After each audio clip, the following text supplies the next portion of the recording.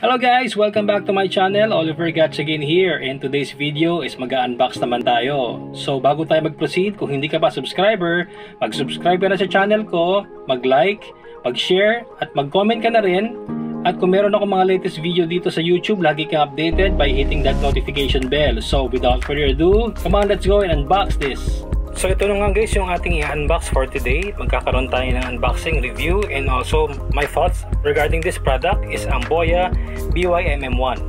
So ginagamit to guys para sa mga YouTubers or mga nag-vlog na mas prefer nilang gumamit ng external microphone instead of using their own internal microphone sa kanilang mga device like cellphone and cameras. So compatible to sa kahit anong recording audio devices. So pagbukas natin ng box, makikita natin agad si Boya. Labas muna natin siya. Okay guys, so upon opening the box, meron tayong pouch para lalagyan ni Boya. Ito yung kanyang microphone mounting na merong mounting for the tripod or monopod. Meron siyang kasamang dalawang uh, jacks. Both works for cellphone and camera depending on your preference kung anong gusto mong gamitin. Kung ito or yung spiral type kasi na-extend to. At ito yung pinaka-microphone natin. Naka-install siya sa kanyang dead cat. And together with this, meron din siyang kasamang manual which is hindi natin binabasa pero pag kailangan na natin basahin, saka natin hinahanap. At meron din siyang parang warranty card. So ayan. Tatry natin siyang buuin ngayon para ma-setup natin siya para may kabit natin sa ating phone para magkaroon tayo ng mga demo and ma-compare natin kung ano mas magandang audio quality. Yung nakakabit siya dun sa ating cellphone as our microphone or internal microphone pa rin. So una natin gagawin is kukunin natin si Boya. Together with mic mounting or mic holder i-clip lang natin siya dyan. So together nga pala with this Boya I also purchased this tripod and also itong cellphone uh, holder na to which is metal yan.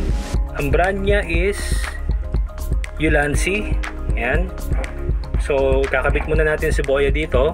Sa ibabaw. I-slide lang natin siya dyan.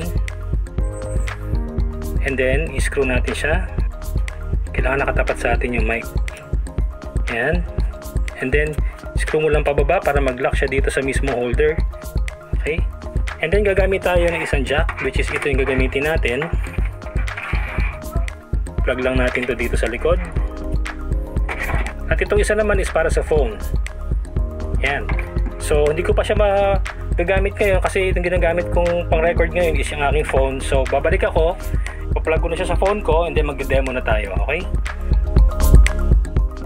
So sound check lang to regarding dito sa ating review about the Boya. So right now ginagamit ko yung microphone ng aking uh, cellphone so hindi pa nakakonect yung Boya. So sound check muna tayo kung ano yung difference niya. Mic 1 2 1 2 3 1 2 3 1 2 3 test test test.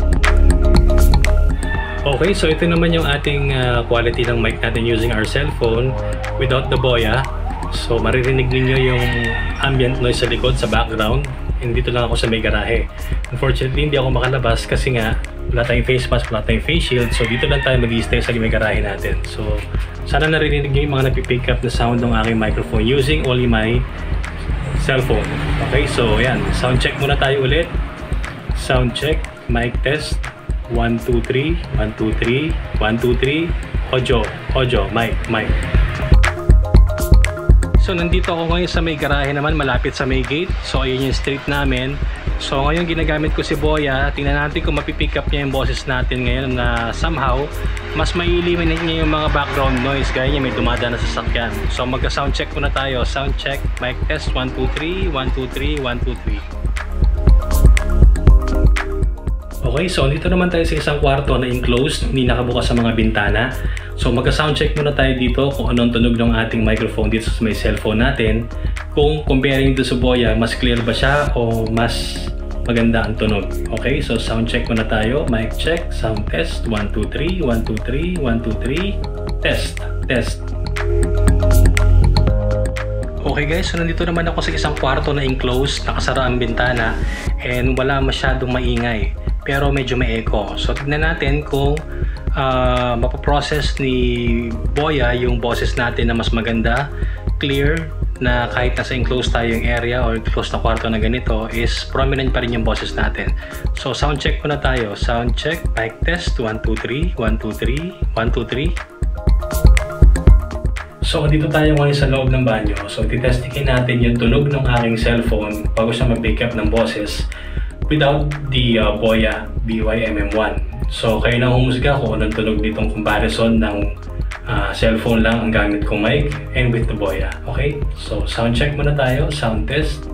Mic check. 1, 2, 3. 1, 2, 3. 1, 2, 3. Mic check. Test. 1, 2, 1, 2. Test. Test. Okay, so andito naman ako sa banyo ngayon. So, mahihig ko siya ngayon. Although mayroong bintana dito sa likod.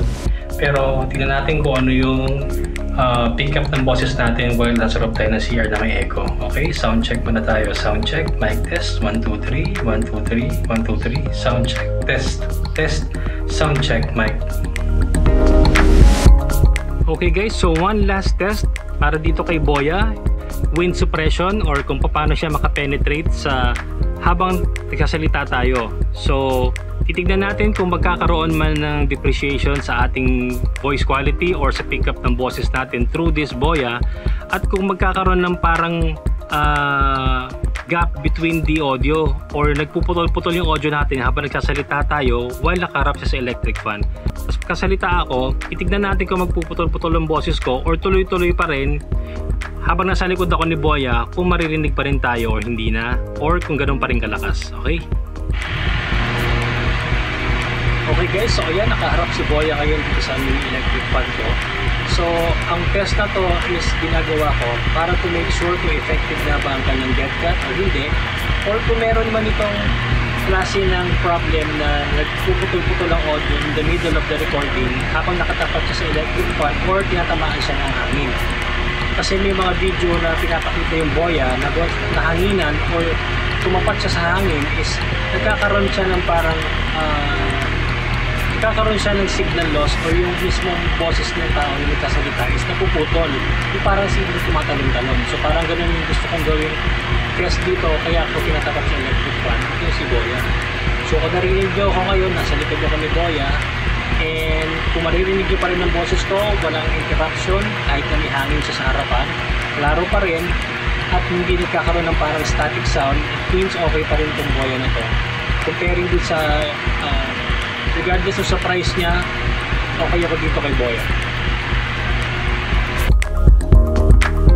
So yan, nakita nyo na yung difference nung recording ng video na to while using my cell phone as my uh, recording device with its internal microphone kung ano yung quality niya. And also while recording this uh, video kagamit na yung boya. Yan. So kayo na ang humusga kung sa tingin niyo is okay ba siya uh, worth it ba siya bilhin. So depende sa purpose na paggagamitan mo sa kanya actually kung, kung for vlogging purposes ba or kung for video recording. Nasa sa inyo na yon ang sa akin lang is makatulong ako sa inyo na malaman ninyo kung ano yung quality and uh, capability nitong ating boya mic kung ano man ang purpose mo para gamitin siya. So ito na yung aking final thoughts regarding this product. Okay, dito muna tayo sa cons. Yung cons nitong product na to is somehow, I listened to the recording na ginawa ko, uh, comparing dun sa walang microphone na Boya at saka dun sa meron na siyang, o dun sa nakakabit na siya sa aking cellphone, is somehow, although naririnig ko yung boses ko na klaro, is meron pa rin ako naririnig na background uh, noise. Maingay pa rin sa background. Andun, napipick up pa rin siya ng microphone. Which is unfortunately, sa recording, medyo nakaka-distract yun. For as long as naririnig niya yung boses ko na prominent sa recording, okay lang ako doon. Even though it's a con, na hindi talaga niya na kayang i-eliminate 100%.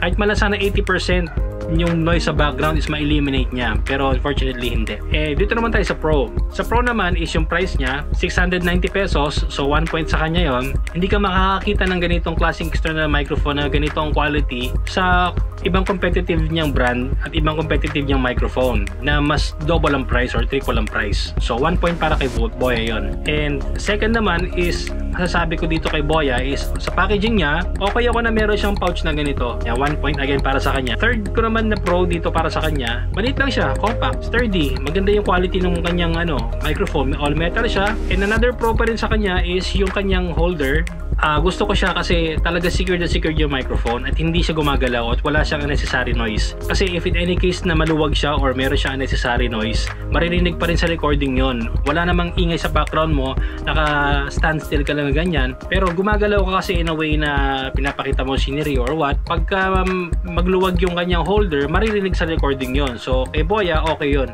So, ang pinaka pro ko para dito sa microphone na to, ito is aking ano lang, personal pro. It boosts your confidence. Ano ko nasabi yon? Kasi before, kung gumagamit ka lang ng cellphone gaya nito, pag nasa maingay ka na lugar, mas nagiging prominent yung maingay na background kesa doon sa boses mo. By having this kind of microphone, para sa akin, malaking bagay ito. Masasabi ko sa sarili ko talaga YouTuber ako. Level up na tong klaseng upgrade na ganito, although microphone pa lang to. From having a phone na internal mic lang gamit mo and then having a Boya microphone sa mismong device mo na ginagamit mo for recording, ang sarap sa feeling kasi iba ang tingin ng tao sa'yo ngayon. Hindi lang typical na nag-record ka lang or nag-picture ka lang, i-video ka lang, so iba na. So yun ang pinakamalaking pro para sa akin na having this kind of microphone as part of my video uh, recording na ginagawa ko dito sa YouTube for my tutorial and reviews. So yan, yan yung thoughts ko para dito sa product na to. And right now, sa paggawa ko ng mga upcoming videos ko is lagi-lagi ko nang kasakasama itong si Boya sa mga recordings na yon. So yan.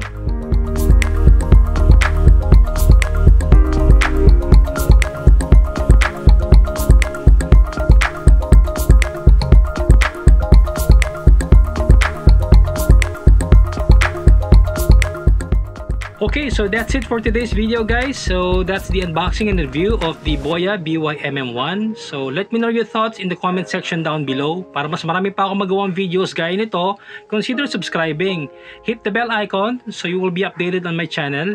And also, as always, stay safe and I'll see you on my next one.